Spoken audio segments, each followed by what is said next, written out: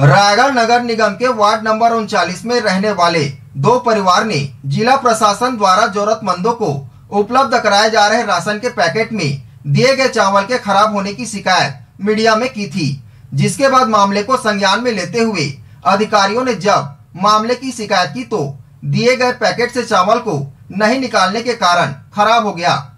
बुधवार की रात वार्ड नंबर उनचालीस रहने वाले दो परिवार ने जिला प्रशासन द्वारा जरूरतमंदों को उपलब्ध कराए जा रहे राशन के पैकेट में दिए गए चावल के खराब होने की शिकायत मीडिया में की शिकायत के बाद स्थानीय पत्रकार द्वारा उच्च अधिकारियों को इस संबंध में जानकारी दी गई। गुरुवार की सुबह ही फ़ूड बैंक की नोडल अधिकारी, डिप्टी कलेक्टर सीमा पात्रे और नायब तहसीलदार विजेंद्र राठौर स्वयं वार्ड नंबर उनचालीस पहुँचे, जहाँ उन्होंने सभी जरूरतमंदों को वितरित किए गए राशन की स्वयं जाँच की जाँच में चार से पाँच दिन तक राशन बोरियों में पैक रहने की वजह से ही चावल खराब होने की बात सामने आई है। दरअसल आंगनबाड़ी कार्यकर्ताओं के माध्यम से वार्ड नंबर उनचालीस में 16 अप्रैल को ही राशन का वितरण कर दिया गया था। जिला प्रशासन द्वारा उपलब्ध कराए जा रहे राशन के पैकेट में आलू भी रहता है।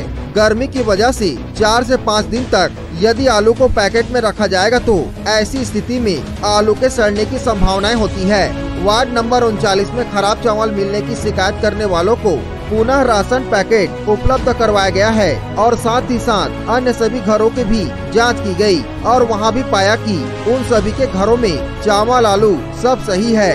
डिप्टी कलेक्टर सीमा पात्रे ने लोगों से अपील की है कि वह राशन प्राप्त करने के बाद पैकेट को खोलकर सभी खाद्य सामग्रियों को अलग कर लें ताकि ऐसी शिकायतें न उत्पन्न हो।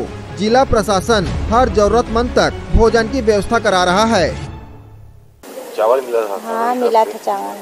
थोड़ा थोड़ा जला जला था चावल में। आलू खराब हुआ था पूरा सड़ा हुआ था। उनको मैं फेंक इससे पहले भी मिला था आपको चावल? हाँ अच्छा था वो। इस बार दूसरी मिला आपको हाँ दूसरा वाला मिला है खराब था वो। शिकायत आपने नहीं की है? नहीं की हूँ। आंगनबाड़ी तरफ़ से मिला था। क्या है चावल में? इस चावल में मतलब ऐसे वो है कि कीड़ा मकोड़े से और पूरा फफूंद लगे थे। जब मैं खोल कर देखा तो उसमें बदबू आ रही थी। और साथ में चावल के साथ और क्या मिला था? उसमें एक किलो आलू था आधा किलो प्याज आधा किलो दाल। वो कैसे थे?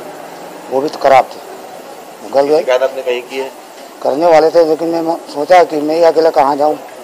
फिर घर के लोग भी मना किए। बेकार बेटा किसी के लेके आए चावल? या कौन देने आया था आपको? ये चावल मेरे को कोई देने नहीं आंगनबाड़ी में लेके आया था। नाम लिखा था मेरा वहाँ। जी जी रेलवे बंगला पारा वार्ड नंबर उनतालीस में दो परिवार में हमको शिकायत मिली थी कि चावल के ऊपर मतलब कीड़े लगे हुए हैं और आलू खराब है। हम लोग यहाँ पे 16 अप्रैल को भिजवा दिए थे चावल और जब हम चेक किए थे तब चावल ठीक था और हम आलू भी फ्रेश डलवाए थे। और जो इन्फॉर्मेशन में इक्कीस तारीख को मिली है तो चार पाँच दिन रखने के बाद आलू खराब हो गया था शायद तक इसलिए ऊपर में ऐसी परेशानी हुई है तो उनको नया फ्रेश पैकेट प्रोवाइड कर दिया हम दोनों परिवार कितने लोगों करीब मैडम ये यहाँ पर दो परिवार पे ऐसी शिकायत आई है। और हम उम्मीद करते हैं कि यदि किसी के घर में चावल नहीं है और हम उनको प्रोवाइड करें तो हम उनके तुरंत खाने के लिए प्रोवाइड करें। वो कम से कम एक बार पैकेट खोल लें और शिकायत हो तो हमें तुरंत सूचना दें। और कई घरों में आपने जाँच की क्या पाया उसमें? बाकी जगह पे तो सब जगह पे फ्रेश मिला है चावल ऐसी कोई दिक्कत नहीं है। और जो आलू निकाल दिए थे उनके यहाँ तो कोई प्रॉब्लम ही नहीं है। गर्मी का मौसम होने के कारण इन लोगों ने देरी से किया खोलना इस कारण से जी जी जी क्योंकि आलू ऐसा है कि दो दिन भी वो पैक है तो वो खराब होना ही है। और हम सोलह तारीख को प्रोवाइड किया और इक्कीस तारीख को यदि खोला जा रहा है तो पाँच दिन में तो खराब हो जाएगा। रायगढ़ से सुरजीत कौर की report A C N twenty 24